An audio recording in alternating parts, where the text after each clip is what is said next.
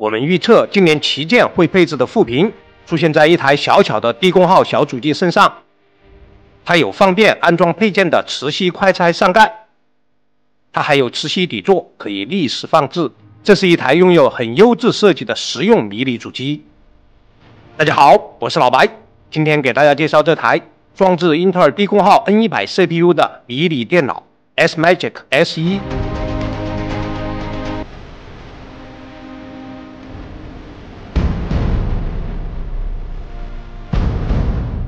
这台迷你电脑有着非常好的造型设计，但是最吸引我们眼光的是，在最注重性价比的低功耗小主机类别里，它配置了实用的副屏，可以实时监控 CPU 功耗、温度、使用率以及风扇转速。那么大家能接受这块副屏吗？S-Magic S1 小主机，它装置了英特尔 N100 低功耗 CPU，适合四线程。二十四 EU 的英特尔 UHD 核显，DDR4 最大三千二百兆赫兹内存，PCIe 三点零 NVMe 叉二的接口，双屏显示输出，双千兆网卡加 WiFi 五。打开来看一下，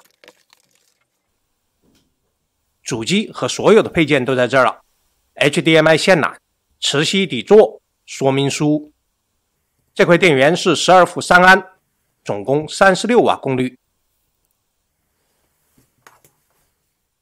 我们把小主机拿到手上，不大的塑料机身，机身接口，前面板，二十五乘三十五的副屏，装饰的 LED 灯带，顶部电源开关键，双 USB 三点二 A 口，双 USB 二点零接口，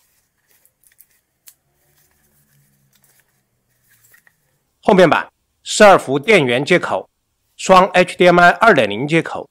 双千兆网络接口，后置音频接口，底部和顶部是通风口，没了，就这两个通风口。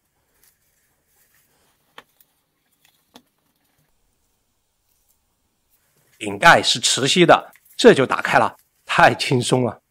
看看内部接口，DDR4 内存插槽，最高三千二百兆赫兹，二二八零的 PCIe 三点零 NVMe SSD，旁边是 M 点二 SATA 接口。这里可以看见疑似板载的无线网卡。BIOS 里我们能看到 PL1 设置的是十五瓦，PL2 也是十五瓦。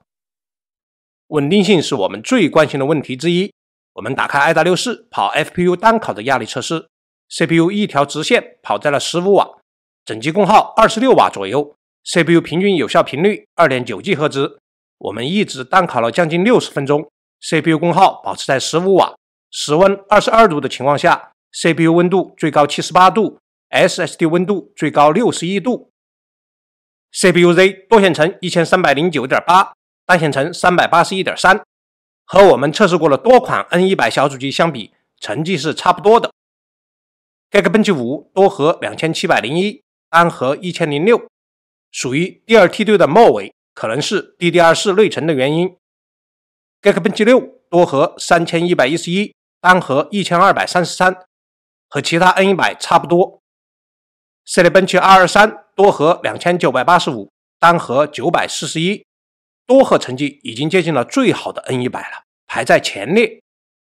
Passmark 多线程六千零四十七，单线程两千零五十七，跑上六千分了，非常不错的成绩。综合上面的比较，S-Magic S1 N 一百在所有的 N 一百产品中。性能都算是很不错的。接着看娱乐大师，总分四十三万六千零二十九，CPU 得分十七万八千二百七十六。我们还给 N 一百运行 OpenW 测试，AES 五十一万两千六百七十九，叉叉二零二十九万一千一百一十三，CoreMark 十万零九十二，CoreMark 超过了十万分，很好。我们来玩游戏《英雄联盟》幺零八零 P 中等画质，最后大团战最低四十帧左右也能玩啊